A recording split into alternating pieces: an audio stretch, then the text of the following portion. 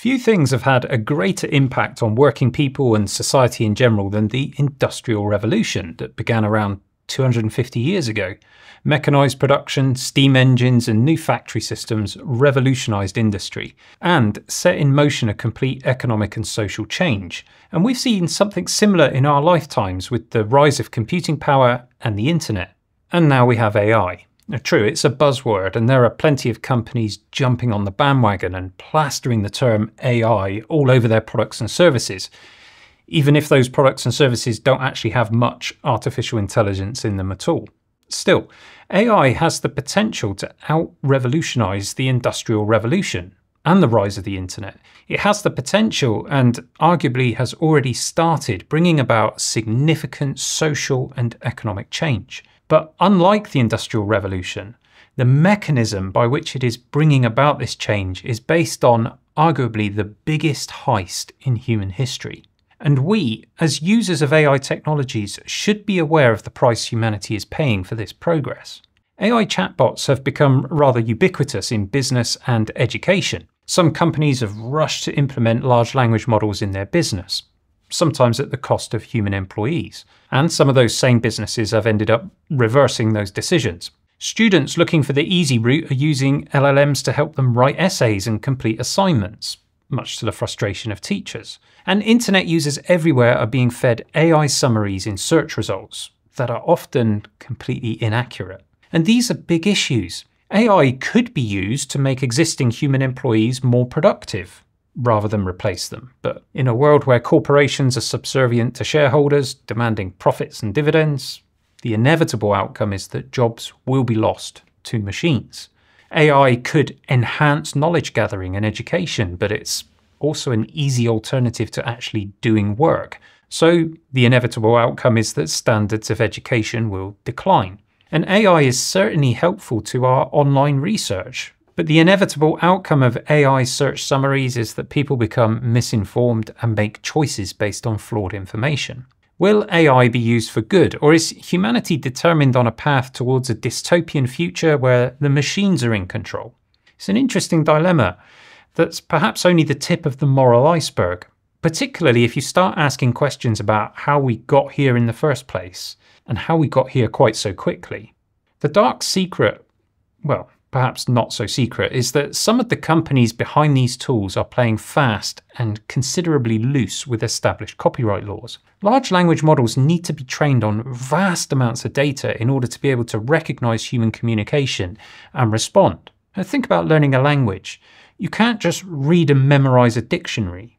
You need to learn how words fit together, how to construct sentences, and how to understand context. You learn syntax.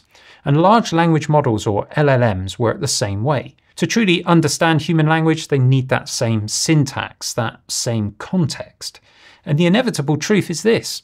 Some AI companies have been training those models using copyrighted material without the consent of the creators. It's very easy to prove this to yourself. Just log into your LLM of choice and ask it to write you a short story in the style of your favourite author it will almost certainly spit out a story that has plot lines and characters that your favourite author created. In all likelihood, the story will read like it was in fact written by your favourite author. How is the LLM able to do that? Logically, there's only one answer. It has read your favourite author's books, or to be more accurate, it's been trained on the text of those books. Now true, such a model might conceivably have been trained on publicly available commentary about the books, but could it really imitate writing styles so accurately for so many different authors without being trained on the books themselves? And the thing is, at least one major corporation has already been caught out thanks to leaked internal communications. And these leaked communications seem to show that the company in question deemed that proper licensing of content would be too time consuming, too expensive, so they just decided to pirate it instead, knowing full well what they were doing. In fact, it seems that they obtained the books from Library Genesis, or LibGen, which is one of the largest pirated collection of books online, containing more than 7 million books and actually also 80 million research papers. And how did they download those works? Using a peer-to-peer torrent.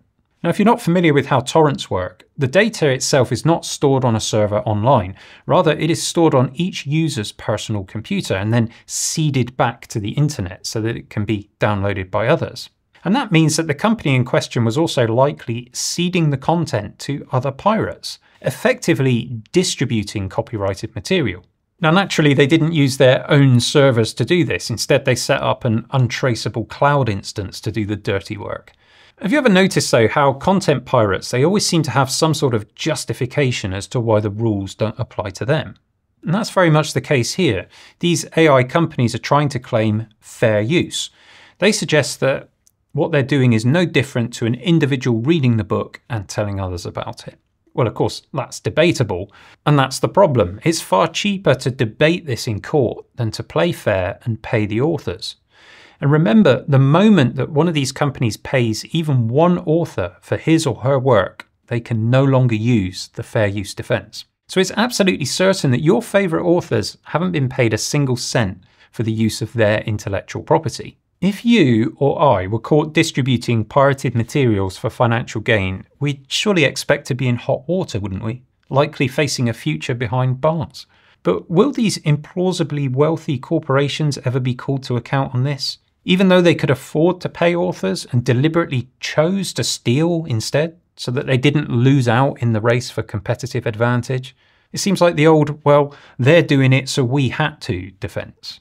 And it's not just authors who are being hurt here, it's artists, musicians, animators, anyone who produces creative works. There are actors who are having their voices and even their likeness stolen by AI, and in some cases to be misused in some really perverted and horrible ways but it's you too. Plenty of mainstream providers are using your creativity to train their AI models.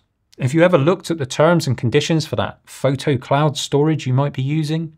Now, of course, it's really easy for me to sit here and preach morality, but I'm using these same AI models, and you probably are too. And in a way, that makes us complicit.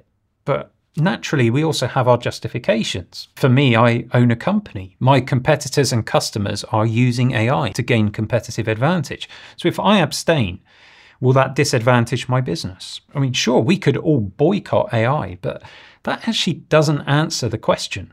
The proverbial cat is out of the bag and the train that it jumped on board has already left the station. So now all that's left is for the AI companies to mop up and cover their tracks they'll create policies and programs that allow creators to opt out of having their data scraped in future, as if the default should be to opt out of being a victim of crime. And whilst these policies and programs will ultimately do nothing to change the status quo, they will provide a convenient thing for AI companies to point at. They'll tell you all about their tireless efforts to clean up the mess. And the brand zealots, they'll eat it up. The reality, though, is that any such efforts will be no more than a drop in the digital ocean. The timeless adage rings true it's easier to beg forgiveness than ask for permission.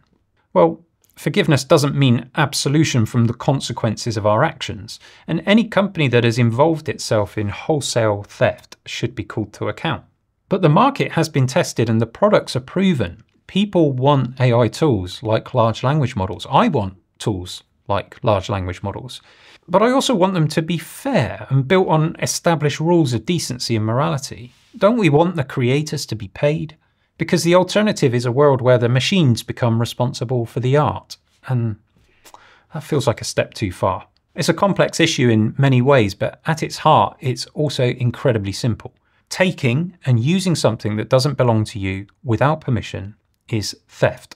Not my words, that's basically the dictionary definition of the word. And as you can probably tell, I'm torn between the excitement at the possibilities that AI brings and that slightly dirty feeling of knowing how these technologies have been built. What do you think? As always, I'm looking forward to seeing your comments, and I'll see you again soon for some more light-hearted geekery.